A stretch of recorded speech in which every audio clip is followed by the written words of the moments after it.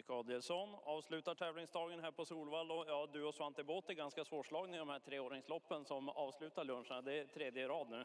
Ja, eh, och de har varit riktigt fina. Men eh, förhoppningsvis är det hästar som inte ska vara på lunchen hela livet. Eh, Inget skam i att vinna på lunchen på Solvalla, men, men ja, det har varit tre fina treåringar. Han eh, Han verkar ha hittat sig själv i livet också.